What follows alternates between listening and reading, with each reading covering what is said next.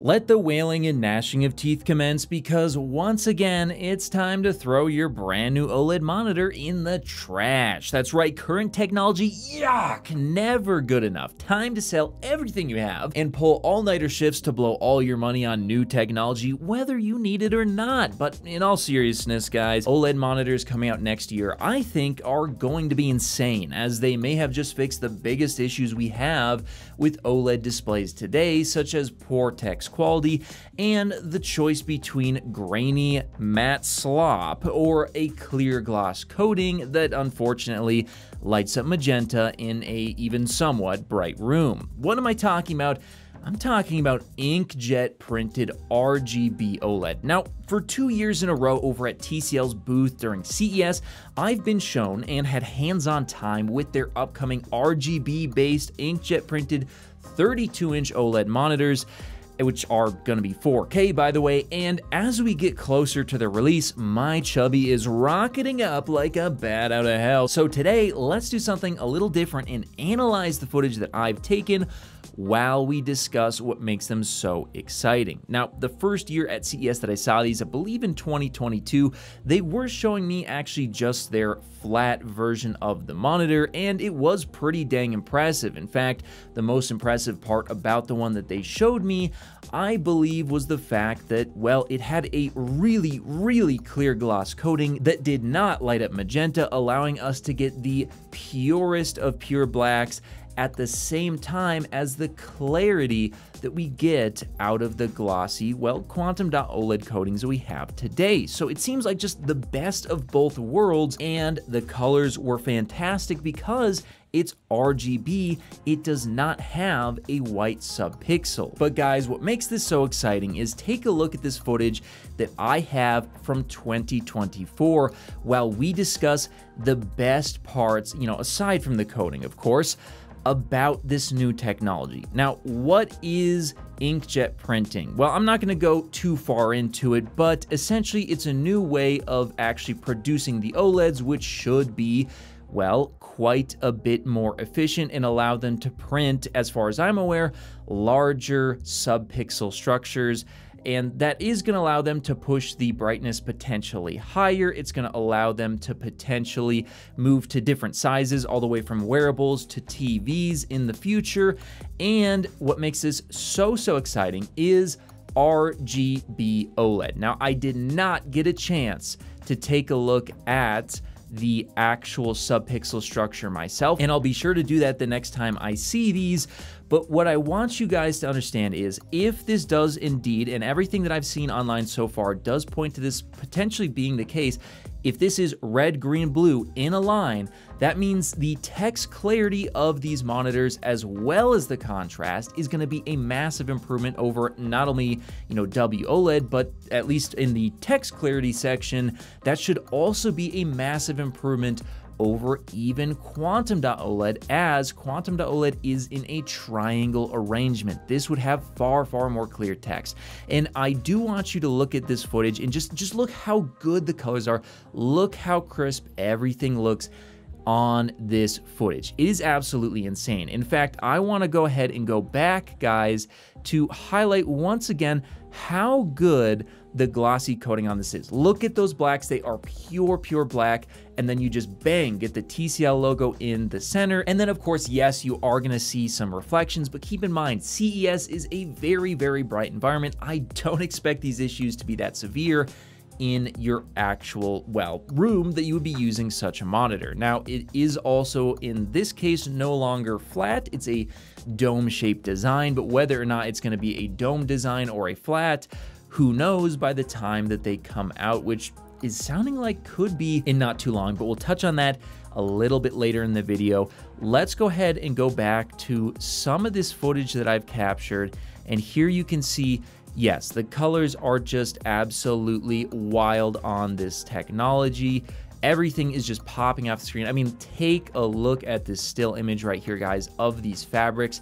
That is wild. That is the type of color you could only see otherwise on Quantum dot OLED, but here it is on inkjet printed OLED. That is fantastic. I'm so glad to see that. But we also have to keep in mind, you know, well, first of all, they're probably going to be boosting the colors a little bit in this footage that they're showing to make it a little bit more impressive.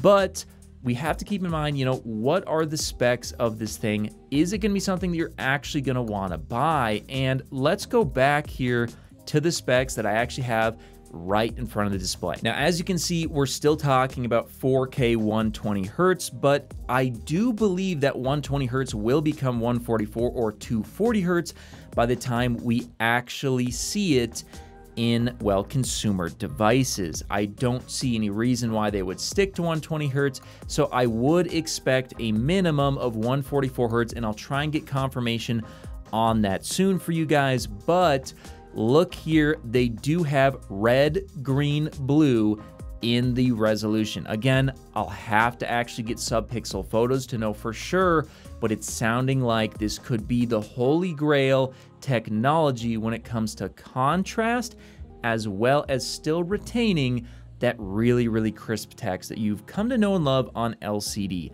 But here's where things might be a little bit concerning. Look at those brightness numbers 150 slash 500. What does that mean? Well, what they're talking about here, guys, I believe is the 100% and the peak brightness. So 150 nits in a 100% window is pretty low by today's standards. That's only the amount of brightness you would see on older WOLED panels, and 500 nits for a peak is not impressive at all. However, and this is where things are going to get crazy, guys. Apparently, according to some information that I've been seeing online, there have been some major, major advancements in this technology as they've moved over to something called eLEAP. And I'm going to pull that up right now here, guys. As you can see, eLEAP stands for Environment Positive Lithography with maskless deposition, extreme long life, low power, and high luminance, any shape patterning. What a fantastic name. You know, I you know what? I think it's time for raises all around in the marketing team. That is just, that's good right there. Yeah, let's go with that. In any case, what does this actually mean? Well, according to them, according to JDI, which is going to be the people creating these displays, it is allegedly going to be two times brighter than conventional OLED while actually having three times the lifetime. That is absolutely insane and a massive, massive step forward for inkjet printed OLED. This is incredible and could lead to some really, really, really exciting displays. Now, we do see here that they are showing a non-red, green, blue specific subpixel layout, which does have me a little bit worried, but of course, this could be in reference to specifically mobile devices and not monitors. I am expecting, but you know, I could be wrong, but I am expecting that it will be just regular red, green, blue on the monitors. Again, I will get photos next time I see it to make sure, but the most important thing here to see is the eLEAP subpixels are 60% larger than regular OLED. Because the inkjet printing gives them more resolution to print, as far as I'm aware, this allows them to print them larger and get brighter and have longer lifespan because of the larger prints. So that's really, really impressive stuff. You can see here that after five years and 5,000 hours, it is still brighter than even one year on conventional OLED. That's really, really impressive stuff there. And hopefully this can just be continued to improve so these last years and years and years and years. But even the first generation of the stuff is looking insane. And here we can see that according to a What Hi-Fi article, apparently there's a new OLED panel manufacturer in town. Should LG and Samsung be worried? Oh my God. Yes, they should.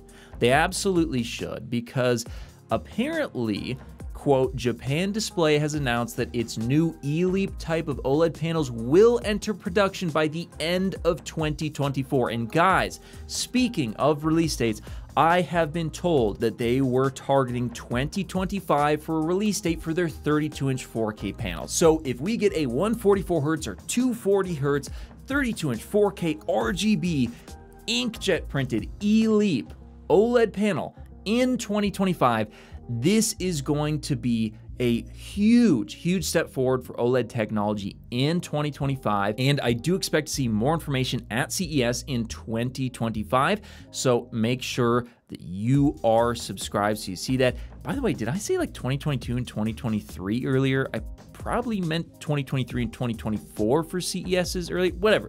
You get the point. I've seen it for a couple years. I'm going to see it again, and this time I'm going to get sub-pixel shots to confirm or deny our worst fears, or maybe potentially what we're looking forward to in terms of the sub-pixel arrangement, so that we can get an idea. Is this the holy grail of display technology. No, no, it's not.